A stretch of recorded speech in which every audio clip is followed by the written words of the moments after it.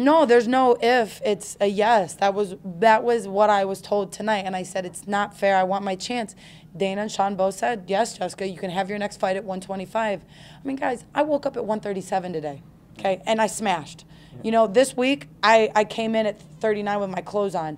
I could have easily made 25 you know, maybe this is a chance for me to do something bigger. You know, I, I, have to I have to have that kind of attitude. I don't want to have anxiety.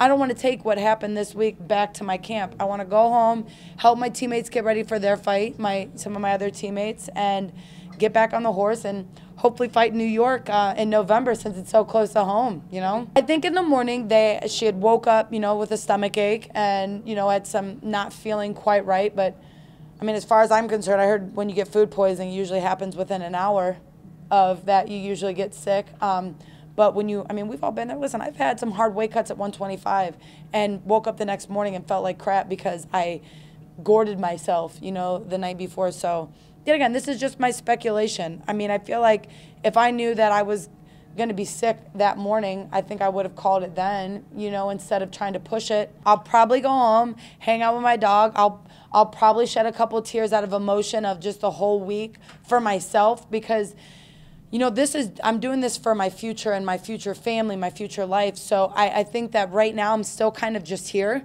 you know like there's there's too much you know i don't i don't know how to really absorb it all. I just know that the fight is not happening.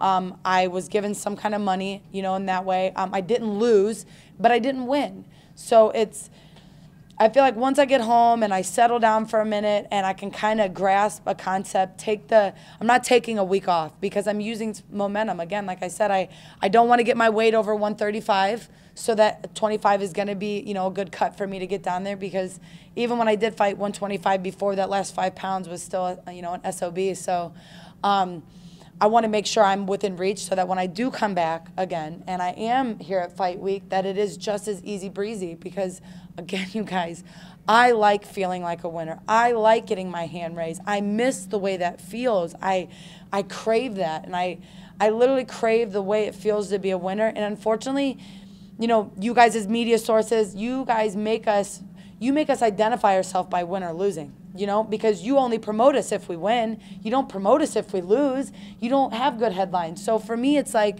for a while there, I identified myself as a loser. In all reality, like, I made it to the UFC.